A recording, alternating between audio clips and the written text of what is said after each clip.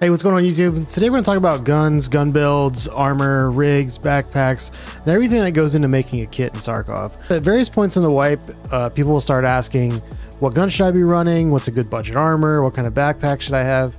And rather than look at each individual one, which I'd like to make videos about that in the future, I prefer to look at it a little bit more holistically of what's the total value of what I'm taking into a raid and how I can, you know, kind of mix and match those things based on either what map I'm going to or what situation that I plan on being in. So what I'm going to do is break down my kits into three different tiers and kind of explain about what you're looking at price wise and how you can mix and match and shave some rubles off. But I also want to get into the maps and talk about how your decisions within these tiers could differ depending on what map you're going to. I am going to break down the tiers and some of the other subjects down into to sections if you want to look at them. Those should be down in the description below. So feel free to skip around if there's something you're looking for specifically. If during these I miss any sort of really good budget builds or any armors that could be really helpful for the different tiers as I break them down, please feel free to drop it down in the comments. I love to hear about it. And if you have any questions about anything that I've talked about, please feel free to drop those down there as well. Or you can come by when I stream on Tuesdays, Thursdays, or Saturday at twitch.tv slash soopchef. We'd love to have you. Our community is very welcoming and a lot of fun. And again, instead of putting this at the end of the video, I do want to take a second and just thank everybody that's subscribed and supported the channel recently. It's been incredibly humbling watching the channel grow, and, I can't wait to keep making videos, and I'm really glad that they're helping. So let's get into it, and thank you so much.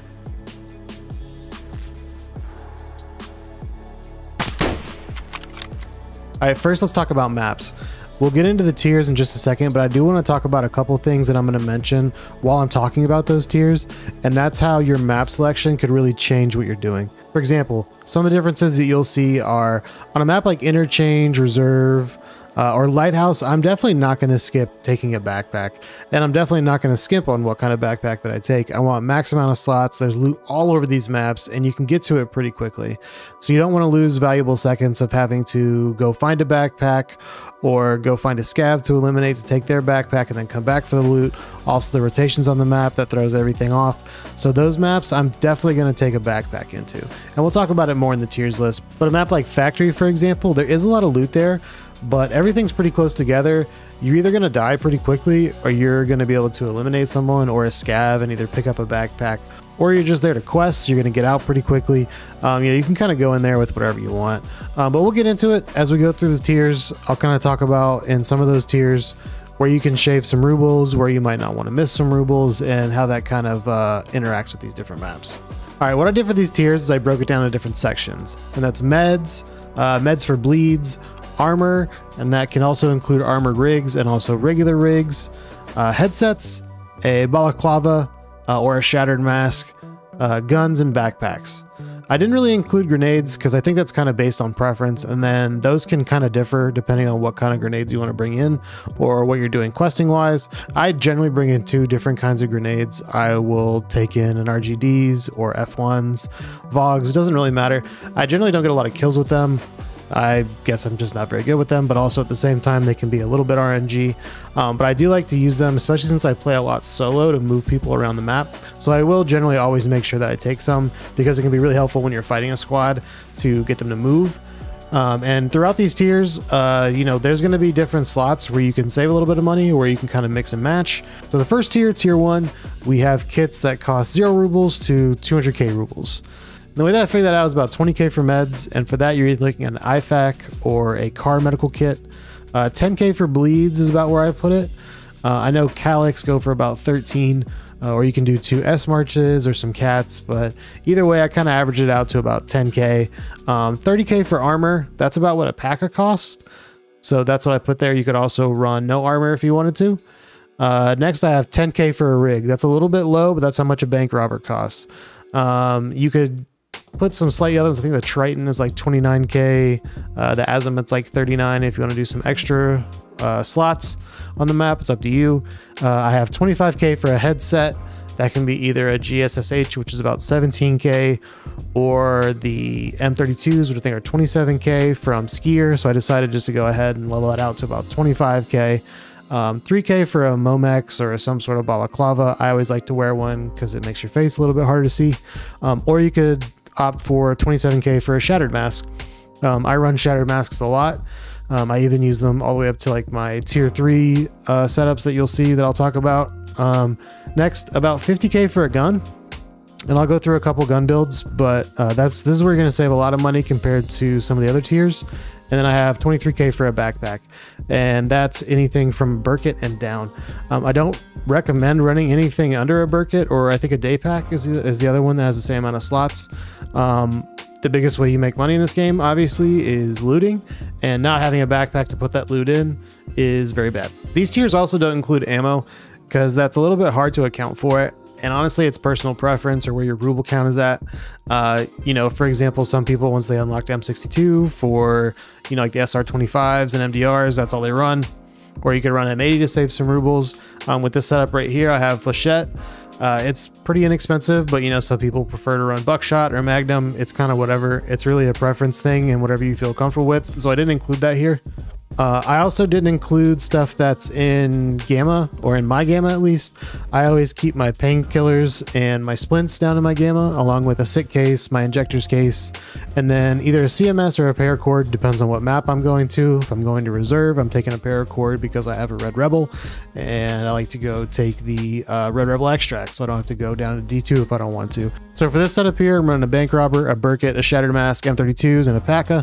All this is pretty cheap. It's going to at least protect me from scavs. Um, I like running Shattered Masks or glasses because it keeps me from those rare one taps where you get like one pellet in your eye from a scav and you die. It kind of sucks when that happens you know, it's a pretty big bummer. So I like to protect that if I can to not get those kind of, you know, cheesy things that happen every now and then. Um, this gun right here is a MP 155. You can get this from Jaeger, I think level one. I threw a choke on it, this little thing right here, just to give a little bit more accuracy, take some of the recoil down. Um, I also paired it with Flechette. Flechette you can craft for pretty cheap. Um, or you can just buy it off the flea market. It's not that expensive. If you have Max Jaeger, it's obviously very, very cheap. You could also run something like a Mosin that's going to be a little bit more expensive if you want to snipe instead, but you're still keeping it relatively cheap. And you could pair that with either LPS ammo or SNB. SNB is really cheap to craft. It's one red gunpowder, which is like 30k, I think, and you get 80 SNB bullets from it. One of the better ammos in the game. Uh, this is a, this is a pretty cheap, nice little gun that you can run with that loadout. And for this for this loadout or for this sort of tier one, you could run this in just about any map, obviously. Um, again, like I said, if you're going to woods, maybe throw a Mosin on. You're not going to have a lot of luck with people up close, but that's okay. It's a very wide open map. You can play it very differently and stay away from people. Um, you can even take a, a shotgun with you to woods. It's not that much of a big deal. This is pretty much the exact loadout that I ran when you have to eliminate scavs on woods. There's not too much to talk about here other than the backpack. Um, backpacks are something that I'm probably going to talk about a bunch throughout these tier lists. Uh, you could switch this out for a slightly bigger backpack if you wanted, if you have your traders leveled up. Nothing wrong with that. More slots means more money.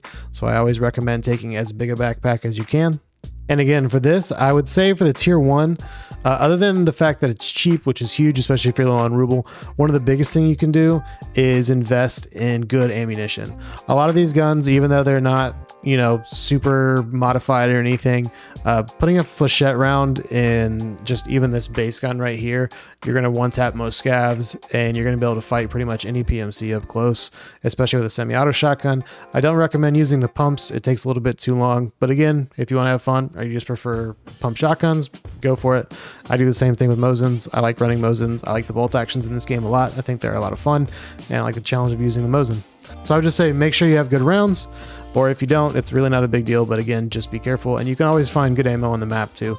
So you can always switch it out. Another good thing about this tier 1 setup is that you can insure most of this and you're probably going to get it back, especially backpacks, headsets, um, either your balaclava, your shattered masks. They're relatively cheap. They don't resell for a lot or quick sell for a lot. So you're going to get it back uh, and you're not going to have to keep spending. Uh, your your inventory might get a little gummed up with a bunch of insurance returns, especially if you're not playing a bunch or you're not dying a bunch, which is a good thing. Not a lot of people are going to take these off the map. Some scavs might just because they're better durability guns, but for the most part, uh, you buy it once, you're probably going to be able to play with it a couple of times. All right, tier two, I'm placing somewhere between 310k rubles and 461k rubles. And how I got there is 20k for meds, kind of the same med setup as before. Got a Kalik, an IFAK, uh, maybe a Salewa to make it a little bit more expensive depending on what you want to do. Um, I have 55 to 100k rubles for armor or an armored rig, and I'll run through a couple options for that going through Ragman. That's about what you're looking at when it comes to your armor and your rig. Uh, I have 25k for headsets. That's again for an M32 or maybe a GSSH. The headset category is a little weird because that's all a preference thing. Some people like running Sordins or maybe Comtacs, maybe even Excels. Is really a personal preference kind of thing. I personally run M32s. I've gotten used to them, so I run them a lot. But I know there are plenty of people out there that really like the GSSH, like amplification, so they can hear more on the map. Uh, that kind of depends, but I'm looking at about 25k average for what I'm talking about here. Uh, you have 3k for a Nomex or 27k uh, for a shattered mask, maybe up to 55k for a helmet. You're also looking at 133 to 208k for a gun, and I'll go through a couple of what those are.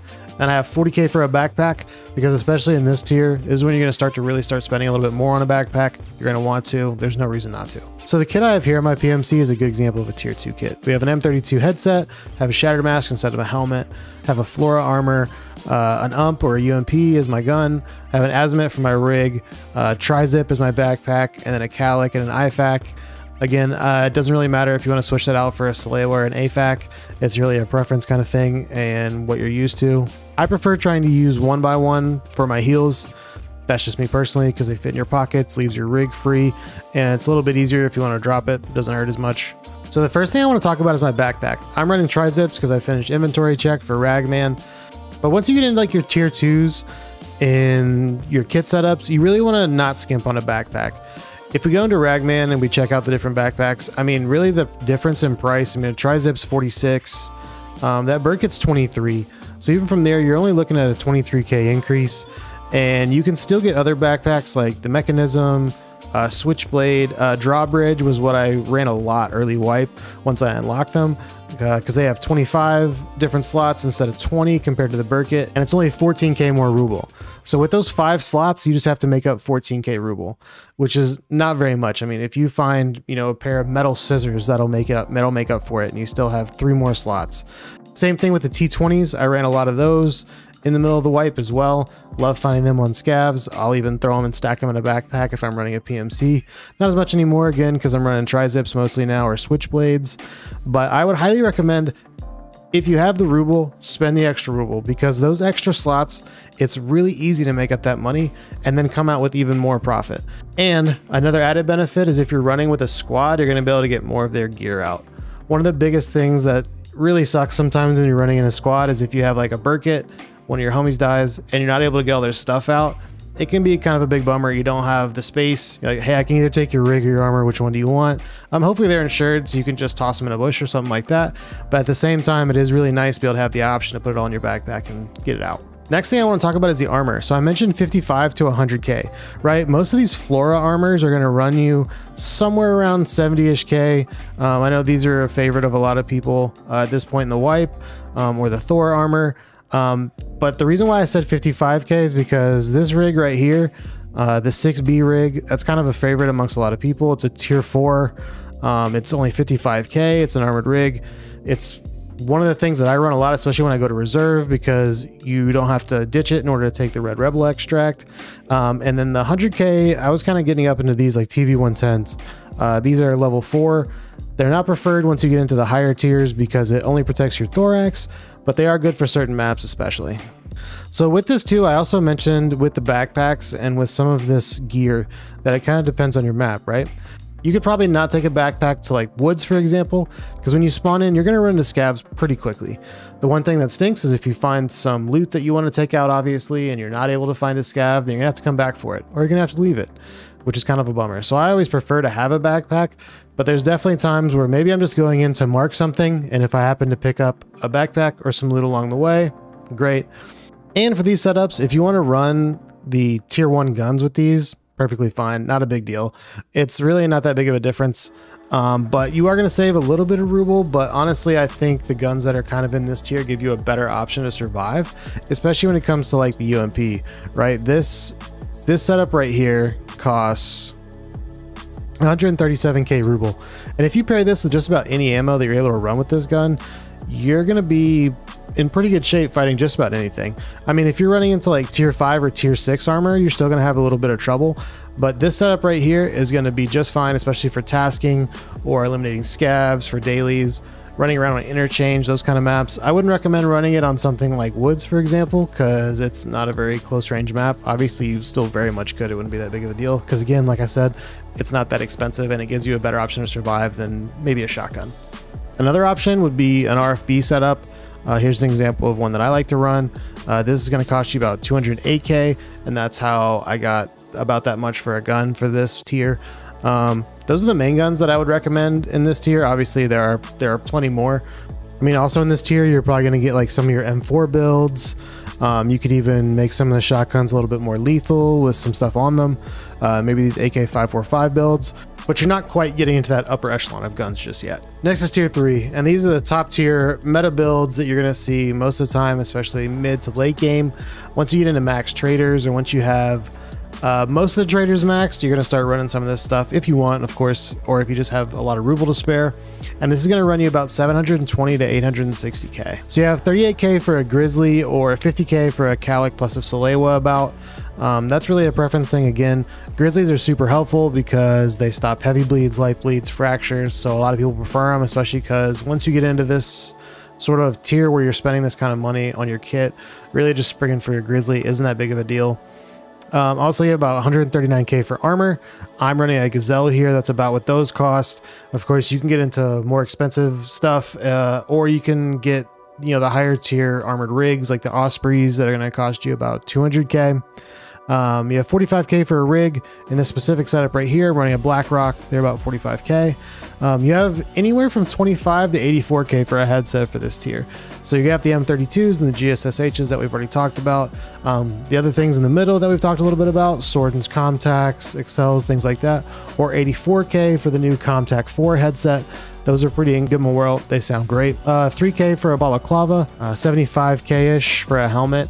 Um, that's kind of on the low end with the U-Lock, or you get up into the more expensive ones like the Fast MT that I have on here, which is about 140k. And this is also not including Altyns or Reese's. Those are obviously a lot more expensive, only available in Max Ragman and only for barters. So that kind of differs based on what the flea market price is or whether or not you can find this stuff. 350k plus for a gun. That's where you're starting to get into like your MDRs, your mutants, RD704s, SR25s. A lot of these guns shoot a lot of the meta, meta ammo that's in Tarkov. I'll show a couple builds for that. So they're going to be a little bit more expensive. And you have 46k to 110k for a backpack. And that's from going from a tri-zip, which is 46k, up to about 110k, and that's for a raid or a tree backpack, depending on what you want to call them. And those are obviously the biggest backpacks that you can run in the game. Again, highly recommend them. Nothing wrong with running them. If you have one or a blackjack, go ahead and grab that thing, throw it on, uh, go into a raid, and get as much stuff as you can out. You can get really expensive building out these meta builds. For example, I took this mutant off, an, off a PMC. I don't even have mutants unlocked, so this doesn't include the weapon price, which I think is about 130 something K. So just for the parts, that can be very expensive. Here's another example of like a meta build that I was talking about. This is how much an SR25 is going to cost you at about meta and this is with max traders. So obviously this is going to differ depending on if you have max traders um, for you know the gun parts because these are going to be a little bit more expensive off the flea so again this right here is a pretty meta setup that you could run in tarkov um, you could save yourself a lot of money on this certain setup depending on what you wanted to run. Um, you could switch out the Comtac 4s for some m32s of course. That would save you a lot of money. If you don't want to run a helmet uh, run a shattered mask. Uh, i personally don't run helmets a lot. I'll run a shattered mask um, or I'll start running U-Locks once I have the money or disposable income just to keep throwing one on. Doesn't really matter. Um, I find that I mostly die to limb damage or head eyes anyway, so I just kind of skip the helmet, especially if I'm having a bad day or I just notice I'm on a bad run of raids. Uh, if I do pull a helmet off of somebody in a raid or I eliminate a PMC, take their gear, obviously I'll throw that helmet on. Why not? Not really any point in quick selling it for half the value. I'll just throw it on and take it into a raid unless I absolutely obliterated it. So the sticker shock for this price is obviously a lot, but there are a lot of things that you can do that'll cut down on this. Um, one is obviously taking gear off of PMCs. Uh, if you find some of this stuff, even if you find a Gazelle that's maybe half, repair it, throw it on. There's no problem in running it if you want.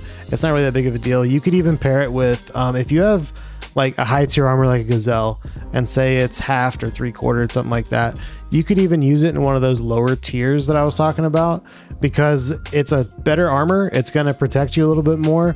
You're not really going to be able to sell it for that much. You probably don't want to take it in as your armor if you're running a really good gun. So why not just throw it on and replace like a P.A.C.A with a kind of beat up Gazelle? but it's going to give you a better probability to survive. Uh, this setup right here would definitely be good for any map. And that's what's kind of good about those higher tier kits, right? Is you can take them to just about any map that you want to um, because you're going to have long range. Maybe you have an over under scope like I have on this one. Uh, maybe you have a nice helmet. You have more than enough room to pick loot up off the map. You can use it to quest, you can use it PvP, whatever you're going to do. But the easiest way to save money in this specific area is to find things, obviously, or find stuff to barter for this kind of stuff if you don't want to just straight up pay the prices for it.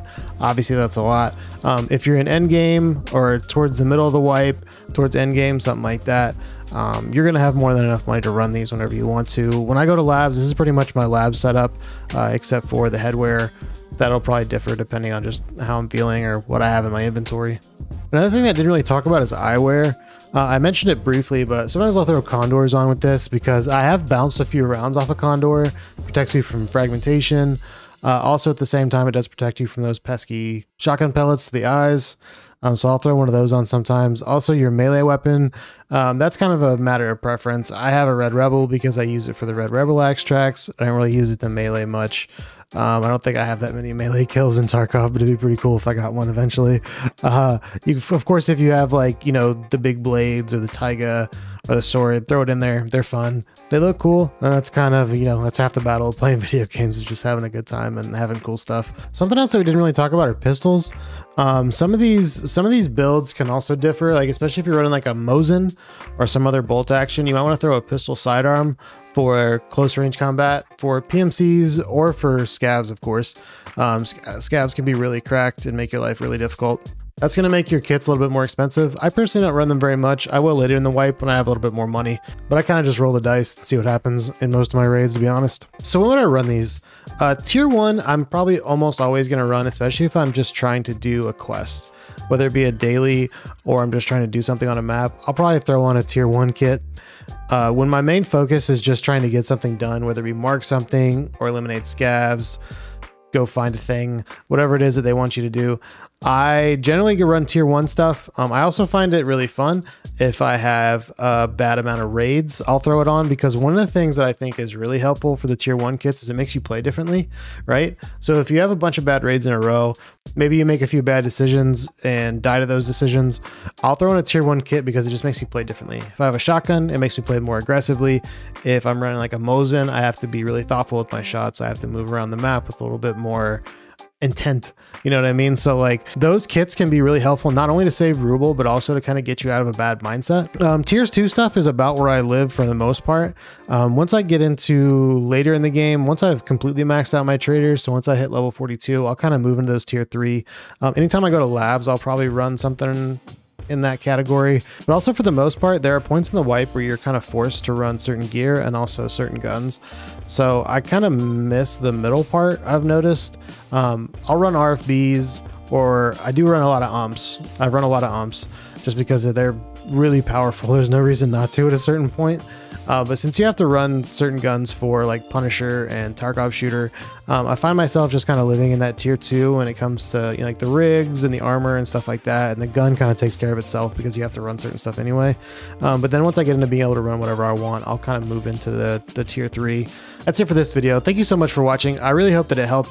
Like I said, instead of just doing a thing where it's like, hey, run these guns at this point in the wipe, I kind of want to tell you a little bit about like the my mindset and how I look at things in a little bit of a bigger sense. I really would like to do more of like gun build videos or like a tier list at some point. Um, but I did want to get this out there because I think it's important, especially as we're kind of like approaching the midpoint of the wipe. If the video did help, of course, we'd appreciate a subscription. We'd love for you to keep following along with the channel. Um, I'm really excited for the direction that we're going. And uh, yeah, thank you so much to everybody again. And I hope to see you in the next one. Bye.